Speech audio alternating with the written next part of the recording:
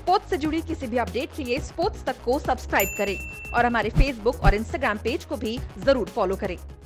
एक तरफ़ है कोलकाता नाइट राइडर्स और दूसरी तरफ़ है पंजाब किंग्स। अब कोलकाता नाइट राइडर्स है जो उनकी परेशानियाँ खत्म होने का नाम ही नहीं ले रही आप उनको बड़ा स्कोर बना के दीजिए तो भी वो हार रहे हैं। आप कम स्कोर बना के दीजिए तो भी वो हार रहे हैं। दूसरी तरफ़ पंजाब है, जो तीन मैच से लगातार हार रहा था, पर एक जो उन्होंने जीत दर्ज करी है मुंबई इंडियंस के अगेंस्ट, वो एक धमाकेदार जीत थी। नौ विकेटों से वो मैच जीते और के राहुल के उसमें भी रन थे, क्रिस गेल के भी रन थे और मयंक अग्रवाल ने एक अच्छी शुरुआत दी थी। पर उनकी गेंदबाजी जो है, लग रहा है कि वापस लय में आ गई। अब उनकी जो गेंदबाजी, जो लय में आई, वो आई थी आपकी चेन्नई में, जहाँ पे विकटें थोड़ी स्लो थी, रवि बिश्नोई को फाइनली मौका मिला और उन्होंने अपना काम बखूबी किया।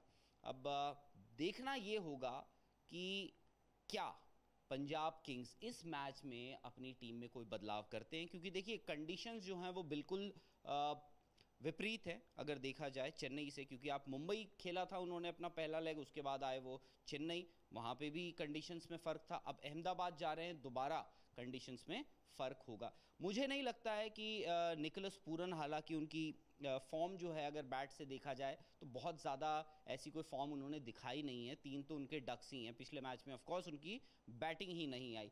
पर मुझे लगता है कि पंजाब अपनी बैटिंग में कोई ज़्यादा चेंजेस करेगा नहीं और वो बैक करेगा और वो भी वही बड़ी टीमों की तरह उस यूजुअल फॉर्मूले को अपनाएगा कि यार अपने प्लेयर्स को आपको बैक करना ज़रूरी है। ए ऊपर रहा सवाल गेंदबाजी का जाय रिचर्डसन और राइली मेरिडिथ और क्रिस जॉर्डन ये आपके पास तीन तेज गेंदबाज हैं।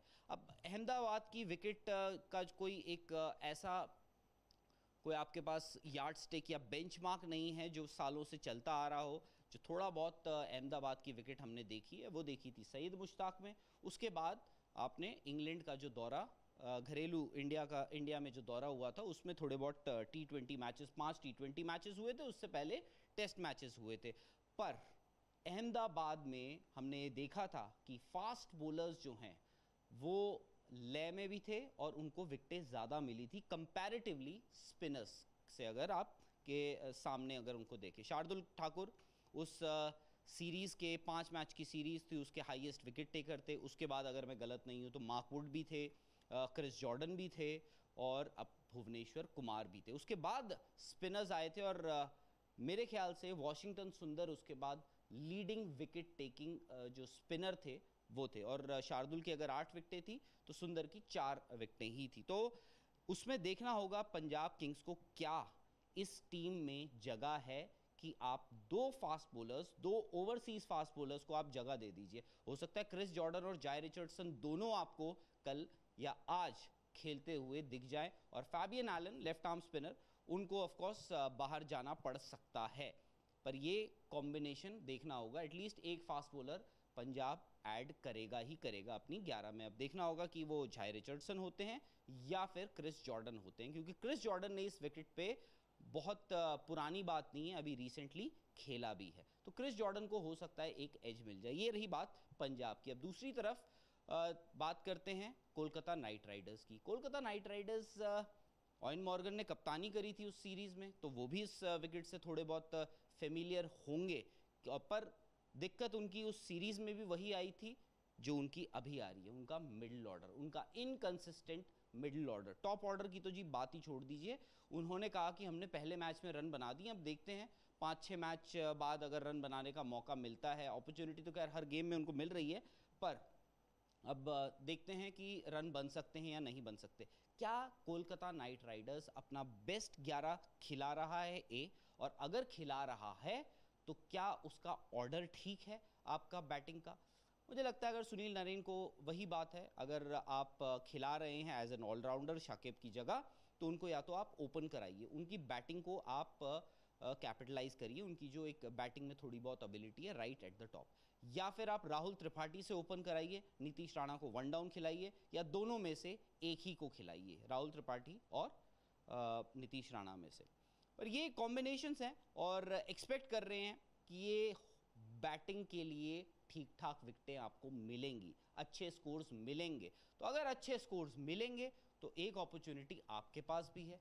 आप जाइए डाफा न्यूज़ पे, वहाँ पे प्रिडिक्शंस कीजिए। प्रिडिक्शंस की भाई, कौन हो सकता है इस मैच का हाईएस्ट विकेट टेकर जैसे मैंने कहा, कोई तेज़ गेंदबाज निकलेगा या फिर आपका कोई स्पिनर होगा।